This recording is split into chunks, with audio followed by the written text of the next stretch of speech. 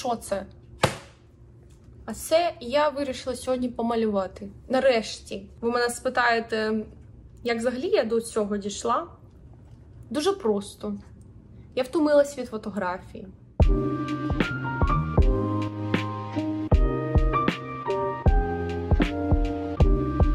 Сьогодні буде сповідь і цікаві історії про снобізм фотографії, поки я буду відводити душу малюючи. І може ви теж починаючий фотограф чи фотографка. І шукаєте контент, де люди просто розповідають про свої якісь досвіди, поки щось роблять. І ви так само можете щось робити, заварюйте собі чайок, чи сідайте зі мною малювати і включайте мене на задній фон, слухати, що я вам буду цікавого розповідати сьогодні. Я нарядилась, така вся гарна сьогодні. Що ж, прям свято якесь, тому думаю, що добру пропадати. Сяду я і запишу нарешті то відео, що хотіла. Але в такому форматі. От в такому форматі, щоб щось робити ручками. Клеїли ми трохи, криво косо. Як вміємо, як вміємо. Ну що, починаю я вам розповідати. Наприклад, ви йдете в англомовний YouTube шукати якусь інформацію, щоб отримати навички фотографування. І ви бачите таку ситуацію, що кожне відео заходить в технічні аспекти, абсолютно ігноруючи аспекти творчості, заради яких ви, власне, і прийшли в фотографію. Дивитесь на це все і розумієте, що ну, це не те, що ви очікували. М'яко кажучи, не те, що ви очікували. Я думаю, що багато людей взагалі таких було, що теж пішли дивитись якби що відбувається в фотографічному світі, і побачили дуже багато е, снобів, які їм починали казати, що там ти не можеш бути фотографом, якщо ти не можеш користуватися камерою в е, мануальному режимі. Ти не можеш бути фотографом, якщо ти ніколи не працював в Black Room, в Dark Room, тобто в чорній цій кімнаті, де проявляють плівку. Ти не можеш бути там фотографом, тому що ти ніколи. Ну, я не знаю, взагалі, от такі, от, знаєте, загони, що там треба от займатися фотографією і розбиратися в усіх камерах, в усіх лампочках, там лензах. Який взагалі з тебе фотограф, якщо ти там не можеш не знаю, користуватися правильно фотошопом. І і далі, і далі такі установки вони дуже часто пропагуються і вони відлякують молодих е, творчих людей, які теж хочуть спробувати себе фотографії а особливо дівчат, тому що дивлячись на Ютуб фотографічний, я зараз скажу про англомовний загалом, там більшість чоловіків. І взагалі дуже рідко можна зустріти фотографинь дівчат. Є деякі блогерки, які займаються фотографією на англомовну е, аудиторію. Але ну там теж є свої нюанси. Більшість все ж таки чоловіки. Я з власного досвіду, коли я все ж таки захотіла навчитись трохи більше чомусь такому, ем, ну якби розібратись для себе, так? Е, не для когось, а для себе самої, то я пішла шукати всі ці курси, фотографії, і я вже ж натрапила куди на московитів. А куди ще? На той момент, на жаль, я була дуже зросійщена, і я ходила на всі ці московські курси фотографії онлайн вже ж. Але а, е, мені хотілося просто знайти людей собі по духу. І що я там побачила? Я побачила там те, що фотографи готові були просто вбити один одного. Настільки велика конкуренція. Причому не хороша конкуренція. Саме така, що люди один одного цькують. Були навіть фотографи, фотографи доволі відомі. Зараз вже не буду називати імена, тому що немає сенсу, вони хай горять в пеклі.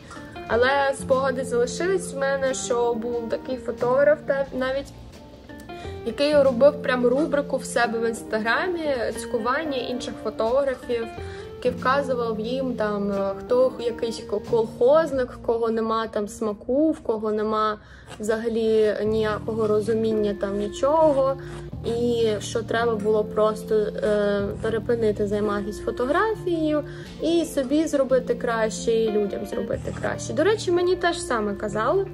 Оці московські фотографи, один фотограф мені сказав: якщо ти не можеш фотографувати людей голих в кімнаті без нічого, без ніякого ніяких там спишок, спалахів, нічого, просто денне світло.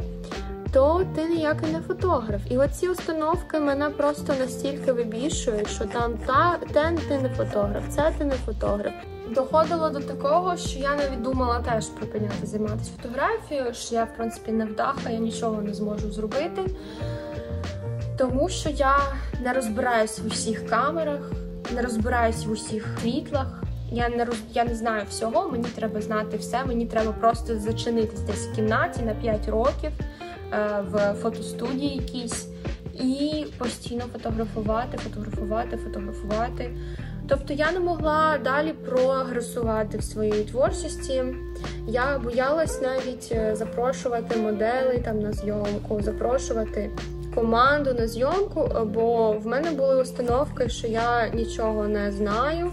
І я нічого не можу, в принципі, і навчитись більше. Тобто дуже був такий страх навчитись чомусь новому, спитати, особливо у нових фотографів, тому що ще така є фігня, що коли я почала запрошувати інших фотографів на каву, люди займаються фотографією і Думають, що вони якісь настільки прекрасні, що всі ці секрети, всі ці перепони, через які вони пройшли і досягли якогось успіху, не можна цим ділитись ні з ким.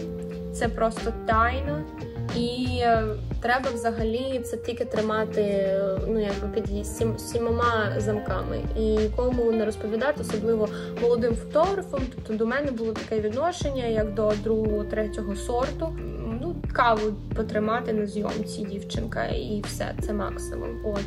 І я хочу вам сказати, що методами власних власних якихось роздумів я зрозуміла, що ця установка по фотографії, вона в принципі йде у людей з моменту, коли е, фотографія ще була справді дуже таємничою справою, справді дуже складною справою в тому сенсі, що аналогова фотографія була не для всіх, і дуже довгий час, і буквально ну якби нещодавно, тобто там 100 років тому.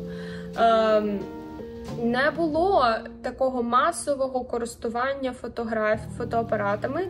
Люди не знали, як це робити. Це робило це було ремесло, це була спеціальна людина, яка розбиралась там в технічних аспектах цього всього. І е, саме ця людина завідувала всіми процесами, пов'язаними з фотографією. Тоді ще там дегеротипи, там п'янтипи, всі ці камери обскури. Тобто не було такого загального двіжа щодо фотографії. Все змінилося через компанію Kodak, яка популяризувала камери серед масового населення. Вони створили камеру Brownie, якщо я не помиляюся. Це така була маленька, якби камера, яка ну вони як маркетизували, що її можна було навіть е, дати дитині, і дитина б теж змогла користуватися залюбки цією камерою. Так що це все змінилось, але установки залишились. І установки залишились досі, тому що досі багато людей не можуть прийняти факт, що фотографія вже є повноцінним мистецтвом, і що люди можуть бути зацікавлені фотографією не тільки з технічних е, аспектів. Тому що зараз, в принципі, кожен може взяти айфон, там я не знаю, смартфон якийсь. Фотографія це ще один інструмент твого творчого вираження. Це не обов'язково має бути щось е, технічно дуже підковане. Я навіть далі вам скажу, що деякі дуже технічні фотографи взагалі не займаються творчістю. Для них це більше як ремесло, справді і далі залишилось ремеслом. Як в принципі може бути з будь-яким мистецтвом, так ну може бути і з ем, от малюванням, можуть бути художники з таким технічним рівнем, але які не можуть продукувати сенси. Мистецтво це ж продукування сенсів. От і все. Якщо ти можеш продукувати сенси, неважливо, що буде в тебе в руках, або не в руках, або взагалі чим ти будеш користуватись, користуватись, ти просто продукуєш ці сенси. І що я вам хочу сказати? Мене це правда відлякало, тобто на мене це подіяло. На мене, на жаль, це подіяло, і я теж почала думати, що Боже мой, я певно, якась не така. І треба коротше з цим всім е, зав'язувати з фотографією і займатися чимось іншим. Таким чином я згадала про своє давнє кохання, про малювання. Я не малювала ну, з 14 років, певно. Тобто повернулася до малювання от буквально кілька років тому. І це було справді тому, що в мене в фотографії якась настала криза. І я на той момент подумала собі, що хай я буду займатися чимось, що взагалі, от ну я не розглядаю як якийсь потенційний спосіб заробляння грошей, потенційну кар'єру. Тому що ну от е, фотографія вона могла б бути вже ж класною творчістю. Я багато і часто роблю зйомок для власної творчості, але я почала серйозно нею займатися саме тому, що я почала думати про те, що вона буде саме моїм якби способом заробляння грошей. Я б дуже хотіла на той момент, щоб хтось мені сказав, типу, Оля, що ти заганяєшся? Не треба. Не треба бути зашореною, не треба бути заляканою. Навіть якщо ти не бачиш перед собою якусь рольову модель, яка робить так само, як ти, це не означає, що тобі треба все закінчувати зі своєю творчістю. Ні. Це прекрасно, якщо ти хочеш її заробляти, це важко. І в якийсь момент може тобі навіть це не сподобатись. Але припиняти займатися своєю творчістю взагалі ніколи не думай. Особливо, якщо ти там щось не знаєш, не треба себе перевантажувати думками про те, що ти якась не така, тому що ти щось не знаєш, чи хтось тобі щось сказав. Завжди можна навчитись. І цей процес навчання, ну, не те, що він повинен бути прям болісним. Я б не сказала, що це просто, якщо він болісний, це там буде дуже, е, певно, швидше піде процес, але я справді більш виступаю за безболісне навчання. Тому що коли ти кайфуєш від процесу, то насправді в тебе результат е, буде набагато більш наповнений життям.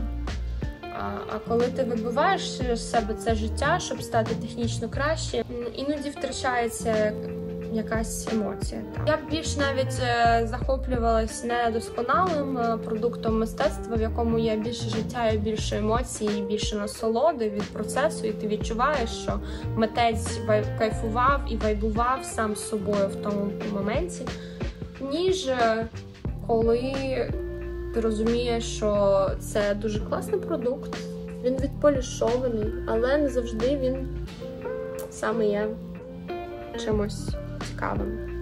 Але ви що думаєте, що я так одразу все це збагнула? Ні-ні ні, взагалі ні. Це якраз е, мені допомогло все це згадати і збагнути якраз малювання. Малювання.